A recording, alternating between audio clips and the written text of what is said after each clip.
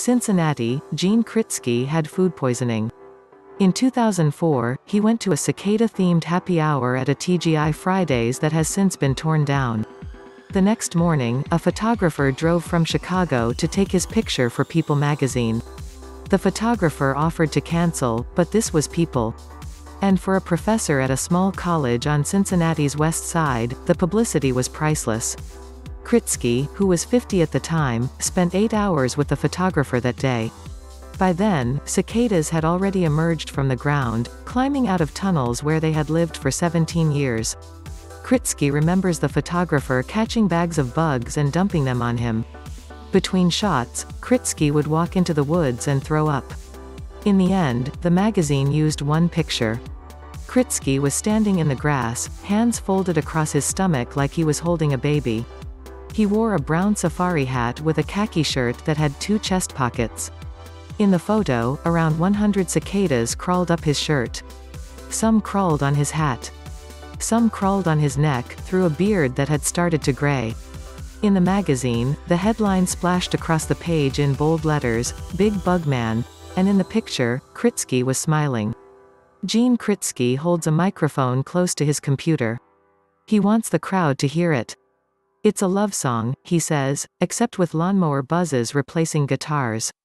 It's the song of the cicada, their mating call, their 17-year itch. Kritsky, 67 now, pulls the microphone away from the computer and mimics the call himself. He treasures that sound. He drives around listening for it in a car with a specialty cicada license plate.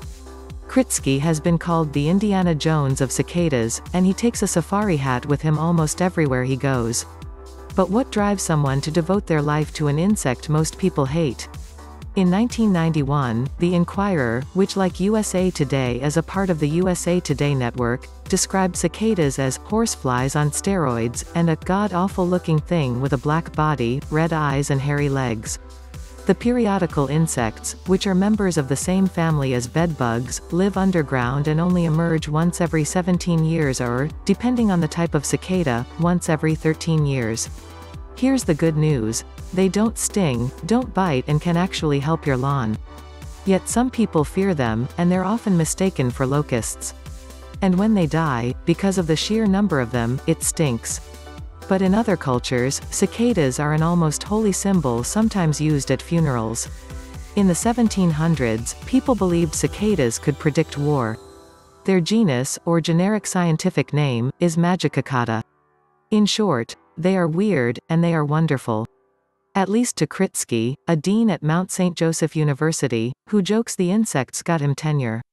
Anybody who deals with cicadas eventually meets up with Gene, said Dan Mozgai, a 52-year-old online marketer in New Jersey who started a cicada website after a wedding in the 90s.